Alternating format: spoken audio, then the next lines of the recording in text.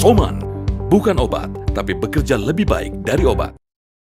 Nama saya Gordon Jemat, saya seorang akupunkturis yang menguasai uh, bidang akupunkturis dan juga bioelektromagnetik. Itu adalah suatu alat di mana kita bisa mengukur energi seseorang atau energi apa pun juga. Mengapa saya mau bergabung? Itu gara-gara tidak sengaja. Jadi ada salah satu orang yang mengundang saya, terus saya bilang, ah nanti Soman itu sama aja dengan dengan produk-produk lain. Nah ini yang menyebabkan saya uh, tadinya tidak tertarik kepada Soman.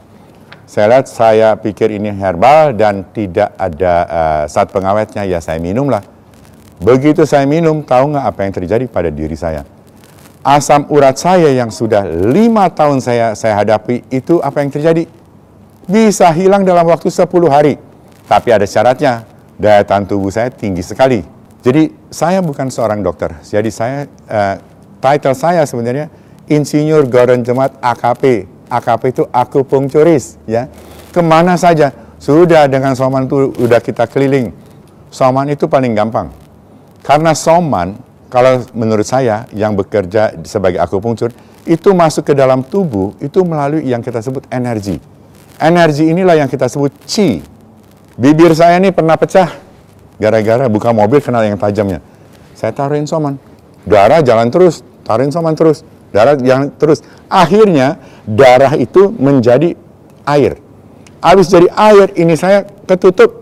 Keesokan harinya sudah hitam, sudah kering. Itu pengalaman saya. Jadi soman itu memang energinya tinggi. Karena apa? Saya bisa ukur.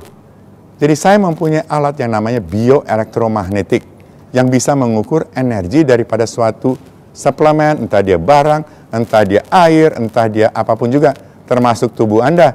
Energi daripada organ-organ Anda itu bisa saya ukur. Nah, dari sana itu barusan saya lihat bahwa soman ini sampai sekarang ya, itu mempunyai energi yang tinggi. Nah, hipertensi juga banyak uh, kejadiannya. Bisa juga karena kolesterolnya tinggi. Nah, oleh sebab itu, kalau orang hipertensi dia pasti akan naik dulu. Karena apa? Soman itu kalau diminum oleh kita, itu akan masuk ke dalam tubuh kita sebagai benda asing. Dia akan diuber oleh ketahanan tubuh kita. Nah, untuk gampangnya saya bilang di sanalah terjadi negosiasi. Kalau misalnya tubuh itu mengatakan soman itu berbahaya, mereka akan berantem sampai siapa yang kalah. Kalau ketahanan tubuh kita kalah ya kita sakit. Tapi sampai enam tahun saya minum soman, saya minum soman itu dari tahun 2009 sampai sekarang loh, 2015. Enam tahun nggak akan terjadi sama diri saya. Soman berani coba berani sembuh. Soman mengemas kualitas menuju Indonesia sehat dan terhormat.